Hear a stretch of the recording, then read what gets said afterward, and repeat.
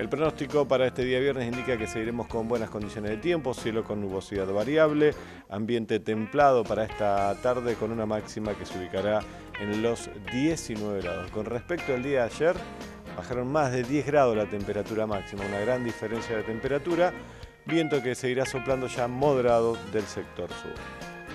Para mañana sábado el día comenzará con abundante nubosidad, disminuyendo la nubosidad ya horas de la tarde, Continúa el descenso en la temperatura mínima ubicándose entre los 8 a 9 grados. No desciende tanto porque vamos a tener bastante nubosidad y la máxima se ubicará en los 20 grados. Para el día domingo, bueno, aquí cae la temperatura, será el día o la mañana, perdón, más fría del fin de semana con un valor mínimo que se ubicará entre los 5 a 6 grados y una máxima que comienza a recuperarse eh, y se ubicará en 22 grados. Esto estará generado por la rotación del viento hacia el sector noreste, lo cual va a generar un día lunes, comienza la semana que viene, con ascenso de temperatura. Cielo con poca nubosidad, 8 grados de mínima, 25 grados de máxima. Como se ve, ya cambia el ambiente con la rotación del viento hacia el sector noreste. Eso sí, se sigue manteniendo ambiente frío durante horas de la mañana, durante lo que será la semana que viene. Ascenso de temperatura que persistirá